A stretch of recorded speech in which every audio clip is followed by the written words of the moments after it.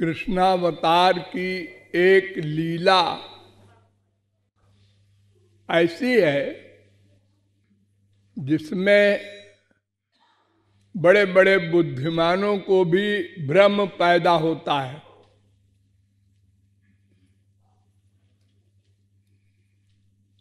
वो लीला है पूतना उद्धार।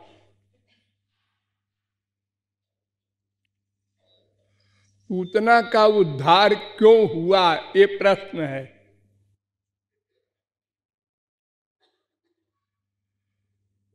ये कहा जाता है कि भगवान बड़े दयालु हैं, इसलिए उन्होंने उद्धार कर दिया। तो अगर भगवान ऐसे दयालु हैं कि दुर्भावना वाले का भी उद्धार कर देते हैं तो फिर सारे संसार का उद्धार कर देना चाहिए। कम से कम आप लोग जितने यहाँ बैठे हैं, उनमें ऐसा कोई भी नहीं है जो श्री कृष्ण को मारने का प्लान बनावे। थोड़ा बहुत प्यार हम सब लोगों का है। अरे, एक परसेंट सही है तो दुश्मनी की भावना तो किसी की भी नहीं है। और पूतना ने तो बाकायदा प्लान बनाया, जहर लिया। इतना भयानक जहर कि उसके छू लेने से मर जाए आदमी। उस जहर को अस्तन में लगाया। और बड़ी चालाकी से सुंदर स्त्री बनकर गई। यशोदा वगैरह बैठी थी, श्याम सुंदर छह दिन के थे, छह दिन के। पालने में लेटे थे। और ये सुंदर स्त्री बनकर गई। सारी ब्रजवासी स्त्रियाँ देखने लगी इसको। इतनी सुंदर स्त्री। ये हमारे मृत्युलोक की नहीं है, ये तो कोई देवी है, देवी। ऐसी श्रद्धा हो गई सबकी। उसने उठा लिया। श्री कृष्ण को गोद में तो वैसे भी छोटे बच्चे को कोई भी स्त्री उठाकर प्यार करती है तो उसकी माँ को खुशी होती है। आप सब लोग एक्टिंग करते हैं दूसरे के बच्चों के साथ, उसके गाल में ऐसे ऐसे कर दिया कर दिया, उसकी माँ को खुशी हो गई। प्यार वार नहीं एक्टिंग और उसने तो बड़ी एक्टिंग के साथ आँखों में खूब प्यार की एक्टिंग और हाथ गोद में ले लिया। सब देख रही है, बैठी है।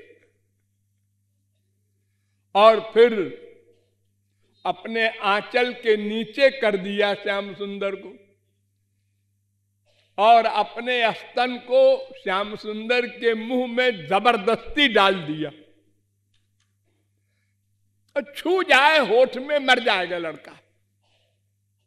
ऐसा जहर। खैर, उसके बाद नाटक हुआ।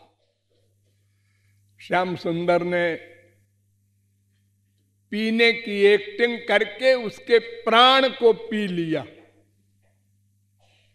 वो विराट रूप धारण करके आकाश में ले गई श्री कृष्ण को। बारह मील लंबी बन गई। बारह मील लंबी। और श्याम सुंदर ने उसका स्तन छोड़ा नहीं, प्राण खींच लिया। स्तन पीने के बहाने। जब वो गिरी ज़मीन पर हज़ारों फुट ऊंचाई से तो बारह मील के पेड़ सब गिर गए। और बड़ी भयानक आवाज़ हुई।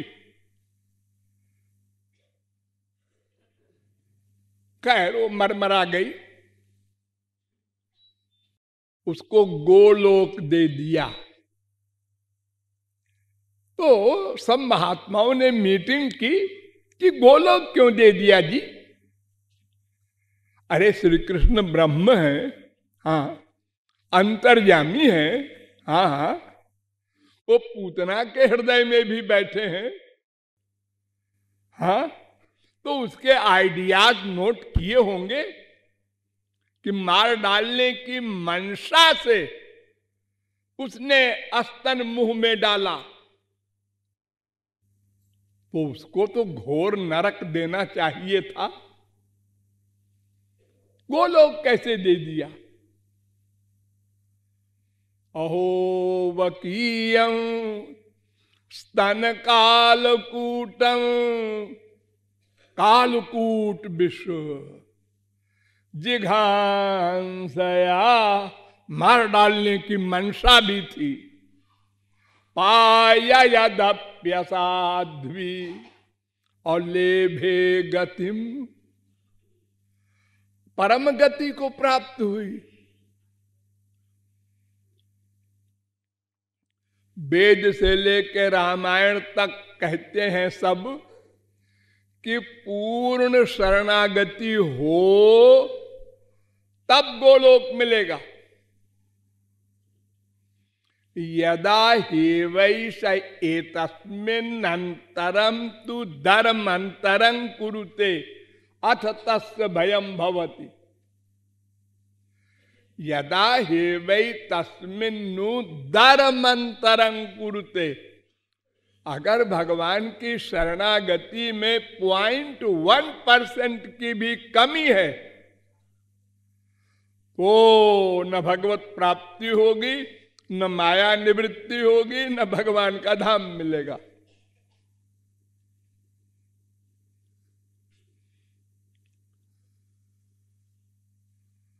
पॉइंट वन परसेंट भी गड़बड़ न होनी चाहिए।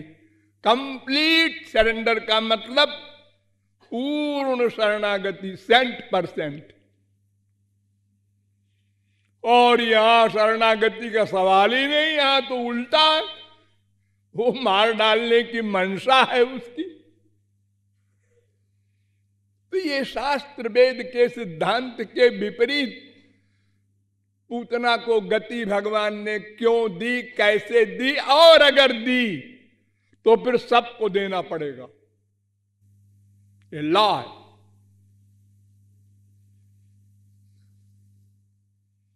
तो वास्तव में पूतना पूर्व जन्म की महापुरुष थी। ये प्राइवेट बात। जब राजा बलि के यहाँ बामन भगवान का अवतार हुआ था तो उस समय राजा बलि की लड़की थी रत्नमाला। उसका नाम था। वो भगवान को देखकर मोहित हो गई और उसमें माँ का भाव आ गया कि अगर मैं कभी इनको गोद में लेके स्तन पिलाऊं तो कितना सुख मिलेगा। ऐसी कामना करके उसने बामन भगवान से मन ही मन बर मांगा। ये बलि विरोचन का लड़का था। विरोचन प्रहलाद का लड़का था। प्रहलाद हिरण हिरण्यकशिपु का लड़का था। देखो सब उल्टा पलटा हो रहा है। घोर राक्षस हिरण्य कश्यपु के बड़ा भारी महापुरुष प्रहलाद पैदा हुआ। पैदा होने के पहले ही महापुरुष थे वो। माँ के पेट में ही। और फिर उनके लड़के विरोचन के लड़के, बलि, फिर राक्षस। और उनकी लड़की फिर देखो महापुरुष, रत्नमाला। भगवान को देखकर मोहित कौन होगा? महापुरुष। और बाकी लोग नहीं हो सकते। आप लोगों ने भगवान को हज़ार लाख करोड़ बार नहीं, अनंत बार देखा है। राम को, कृष्ण को आप लोगों ने देखा है। लेकिन वो सुंदर नहीं लगे। क्यों? आपका हृदय गंदा था पाप युक्त था। तो जाकी रही भावना जैसी प्रभु मूर्ति देखी तिन तैसी। अपनी अपनी भावना के अनुसार भगवान को लोग देखते हैं अवतार काल में। केवल महापुरुष देखता है भगवान है, और कोई नहीं देखता। आँख से सब देखते हैं। लेकिन भगवान नहीं दिखाई पड़ेंगे उनको। विदूषण प्रभु विराट मय दिशा, बहुमुख कर पद लोचन शीशा। देखिए, संसार में आप किसी को भी देखेंगे तो तीन ही बात हो सकती है। या तो वो अच्छा लगे और या तो वो बहुत खराब लगे, और या तो वो कॉमन लगे। बस और कुछ नहीं हो सकता। तीन में एक बात होगी। अगर सुंदर है तो आप देखेंगे तो बार बार देखने को मन करेगा, सुंदर लड़का है, सुंदर लड़की है। अगर कुरूप है तो एक बार देखा फिर दोबारा देखने को मन नहीं करेगा।